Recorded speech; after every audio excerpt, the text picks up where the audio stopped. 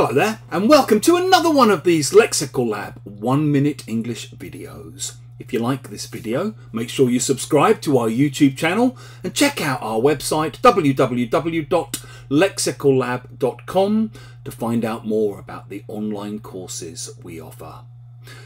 As some of you may have heard me mention before, I have a little bit of a guilty secret, which is I love eavesdropping on other people's conversations, listening to them when they don't know that I'm listening to them. Obviously, my excuse is that as an English teacher and a coursebook writer, it's useful for me to hear how other people use the language. As I said, that's my excuse, and I'm sticking to it. Anyway, the other day, I was on the bus coming home from meeting a friend in the centre of town, and there were two young women behind me gossiping about someone. I'm not sure if it was just someone that was a mutual acquaintance of theirs, someone they worked with, maybe a celebrity of some kind. I don't know. I didn't get this information. But one of them said, that I overheard them saying, God, he's so full of himself, that guy. He really thinks he's it.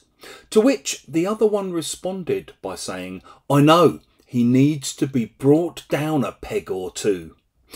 If someone is brought down a peg or two, they're made to realise or they're shown that they're not as important as maybe they thought they were.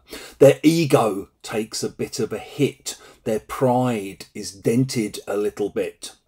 To give you a few more examples, um, I was once at an English language teaching event where another English language teacher who's written course books turned up and was slightly shocked that he was asked to pay five pounds to get in.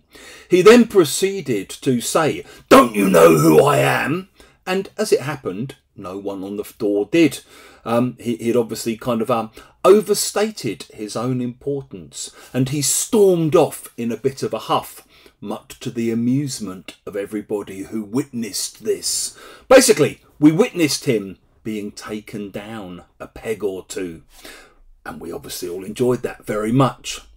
Good football managers often have to deal with players with huge egos.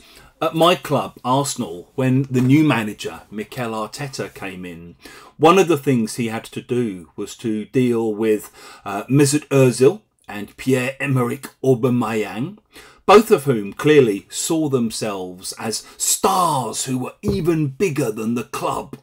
And what good managers do, what Arteta did, is to take those players down a peg or two. Maybe by dropping them, putting them on the substitutes bench, putting other younger players on instead of them, or as it ended up as end as ended up being the case with both of them, just getting rid of them and showing them that no player is bigger than the club.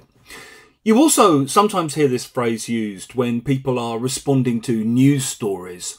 So, you know, you might see a news story of a, a journalist or a politician who's obviously done something stupid and who's decided to take legal action against people who've said they've done something stupid and they lose their court case. And someone might respond by saying, Gah, I'm really happy to see that pompous idiot lose his court case. That'll take him down a peg or two. If you've enjoyed this video, uh, please do click the like button, share it with your friends, your students, your colleagues, and in the comment section below, we'd love to see examples of how you might use take someone down a peg or two.